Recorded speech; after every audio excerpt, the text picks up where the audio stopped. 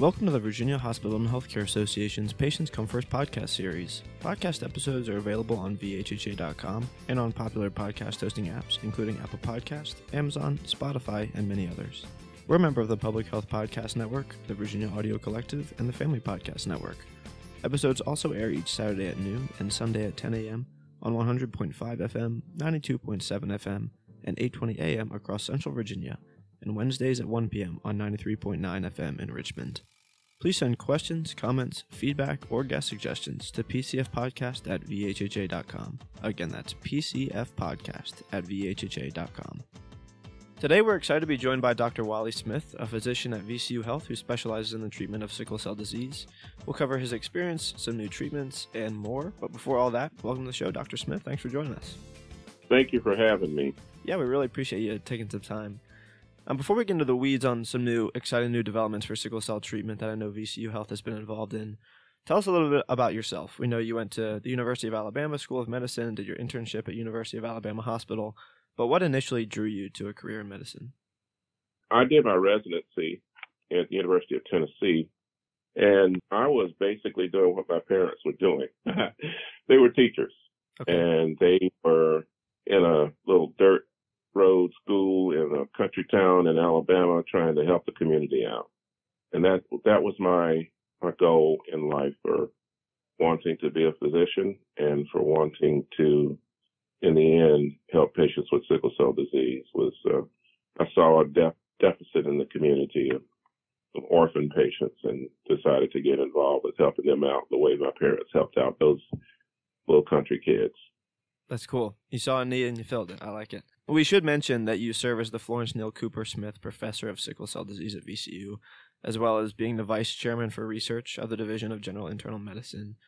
You've authored over 100 publications and helped develop two potential compounds for sickle cell disease.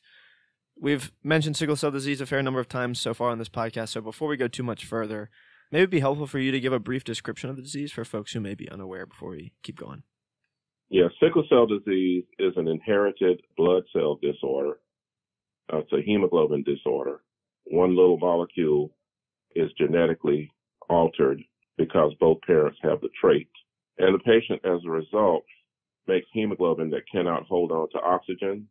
And because it can't do that, the cells don't carry oxygen the way that they should. And the abnormal hemoglobin forms what's sort of like pins and needles inside of the red blood cell and distorts the shape of the cell into these crescent or sickle shapes, but also other weird shapes. It causes pain, anemia, early death, and lots of other complications. And um, until lately, we had no cure for it. Well, that leads us nicely into this next point. With that context, I want to talk a little bit about a new sickle cell therapy that's been trialed at VCU recently and just recently received FDA approval. As I understand it, and you can you can correct me or fill in the gaps here, it's a gene therapy that uses a process called peripheral blood stem cell collection, where you isolate and pull out a patient's stem cells and then send them to a lab that specializes in gene modification so they can change the way those cells produce the hemoglobin that you were talking about. Maybe you could provide a little bit more color to that and, and help fill in the gaps for us there. It's even more complicated than what you just said. I can imagine. More, there's more than one way to manipulate the genes. You could take the abnormal gene and you can add a gene that produces good hemoglobin, or you can try and repair the abnormal gene. And we have gene therapy to do both now, approved by the FDA. So the product made by the company Bluebird Bio is gene ADD addition, whereas the company made by uh, Vertex is gene ED edition, changing things. And that's the one that's famous, CRISPR-Cas9. You've heard that on the radio. First disease in man to uh, have an approved therapy using CRISPR-Cas9. And um, that's what's gotten all the attention. This CRISPR-Cas9 can be used to cure other diseases as well. That is fascinating and incredible. It's obviously a, a very new treatment method. Um, we mentioned it just recently got approval from the FDA. And you mentioned before that up until this point, or up until very recently, there was no cure for sickle cell disease. How does this new treatment differ from more traditional treatment methods where maybe you were just managing symptoms? Um, well, I, I told a partial truth, we had a cure for sickle cell disease in the form of autologous stem cell transplantation, taking somebody's stem cells who does not have sickle cell disease and putting them into a patient with sickle cell disease so that the patient starts to make normal hemoglobin in addition to continuing to make their abnormal hemoglobin. But you hope that the normal hemoglobin overtakes the abnormal in quantity so that they stop having symptoms of disease. We've come up with the term transformative therapy to describe all of these treatments because cure really requires that nothing goes wrong for 15 years, according to what the federal government is requiring. Hmm. And we have very few people who pass that 15 year mark so far. But if you get your cells from somebody else, you have to go through the same preparation as you do if you get your own cells sent off to the lab, like you talked about, and modified. So it's not a simple thing. You got to go through chemotherapy. You have to go through a lot of blood modifications. And you then have to be monitored to make sure that what we put into you doesn't do bad things to you. So, for example, if you put somebody else's cells into you, your body may reject those cells or those cells may reject your body. That's called graft versus host disease. So there's a lot of potential complications along the way. And so when somebody signs up to do this, they have to take a year out of their life and then have to admit to coming to the doctor a whole lot. yeah. Well, it sounds obviously very complex. I wonder if you could talk about, and I know that this is a new treatment um, that we've recently been talking about, but so maybe you don't have the the body of evidence to support you know how successful the treatment's going to be but just in terms of the experience for the patient how do you feel like this new treatment's going to change that experience for them when it works it's great when there's no graft versus host disease when there's no rejection and when there's no hiccups in the process the patient stops going to the hospital for painful crises that's the most common reason for hospitalization is painful events, painful crises, painful enough that they require, you know, narcotics, IV therapy, etc. If that stops, that's a huge, huge change in the life of a patient. And so far, that's what these two gene therapies are capable of doing in almost everyone that it's been tried in. So when it works, it works quite well.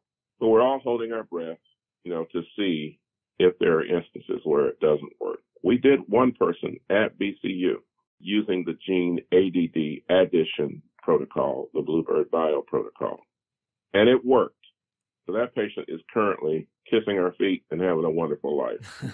and, um, you know, we are watching them very closely. They have to keep coming to the doctor, but it's been life changing for them.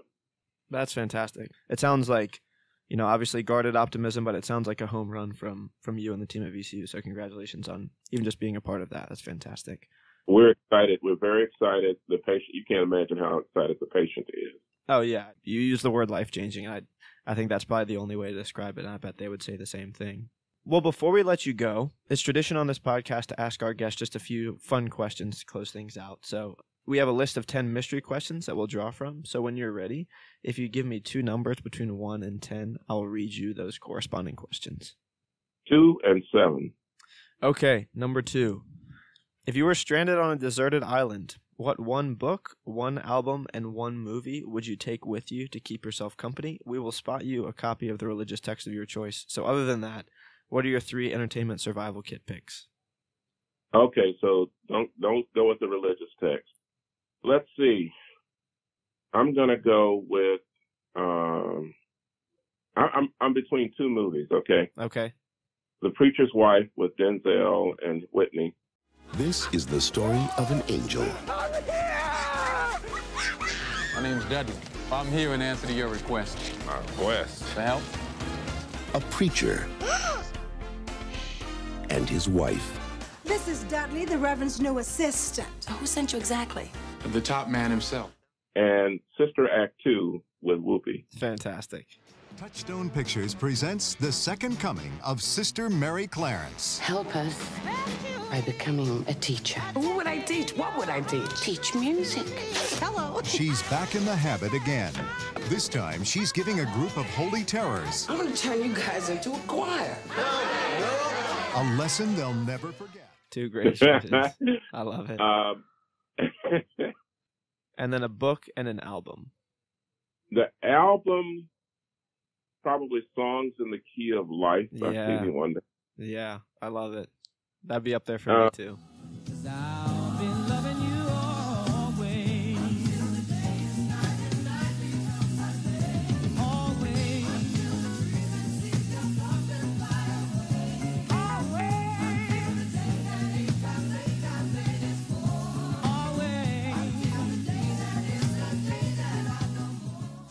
And then the book, I probably would go with uh, Treasure Island, which is a childhood favorite. Love it. Those are those are three slash four fantastic answers. I like it. Okay, and then number seven. This is a classic question. If you could choose one superpower to have, or any one skill to instantly master, what would it be and why? And I want to add some context to this. So, obviously, the superpower question is classic, timeless. We wanted to mix it up a little bit and add the any one skill to instantly master. If you want to choose that instead, so like if you've always wanted to learn how to play the piano or something like that, you could throw that in there, or you can go with the superpower. Well, I already know how to play the piano. Okay, well that rules that out. I like it. um, I'm one of these people that wants to be able to fly. Yeah. I, I would just, I'd like to be able to fly. yeah, you cannot go wrong with with flying. That would be great. Well, those are all fantastic answers, and with that, we have come to the close of another episode of the Virginia Hospital and Healthcare Association's Patients Come First podcast. If you liked what you heard, please make sure to leave us a five star review on Apple Podcast and subscribe so you know when new episodes are released. We want to once again thank our guest, Dr. Wally Smith, for joining us today. So, Dr. Smith, thanks so much. It's been a real pleasure. It's been fun.